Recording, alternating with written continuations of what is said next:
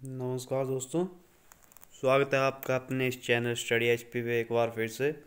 तथा आज मैं आपको बताने जा रहा हूँ कि H P S S C द्वारा आज 8 जनवरी 2020 को एक रिज़ल्ट निकाला गया है। तो चलिए जानते हैं उस रिज़ल्ट के बारे में, किस चीज़ का रिज़ल्ट है।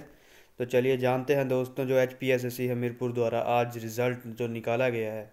तो ये है दोस्तों, post code seven seven one electrical का, जिसमें थी दोस्तों चार पोस्ट्स।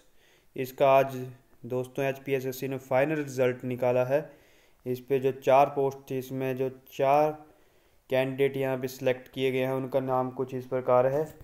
उन, उनमें से जो पहला नाम है, वो है दीपक कुमार, अशोक कुमार, सतीश कुमार तथा राहुल।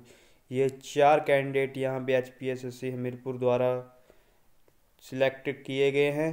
तथा ये final merit list final merit list H P S S C द्वारा जारी कर दी गई है। तो इन सभी चारों कैंडिडेट्स को स्टडी एच पी की तरफ़ से बहुत बहुत बधाई। तो दोस्तों, यही थी हमारी आज की notification regarding H P S S C result ऐसी ही नई वीडियोस जानने के लिए हमारे इस चैनल को सब्सक्राइब करें तथा वीडियो को लाइक करें। और यदि आपको कोई क्वेश्चन हो, वीडियो रिलेटेड या किसी कोई अन्य प्रकार का क्वेश्चन हो तो आप नीचे कमेंट सेक्शन में लिख कर बता सकते हैं दोस्तों। धन्यवाद दोस्तों। जय हिंद, जय हिमाचल दोस्तों।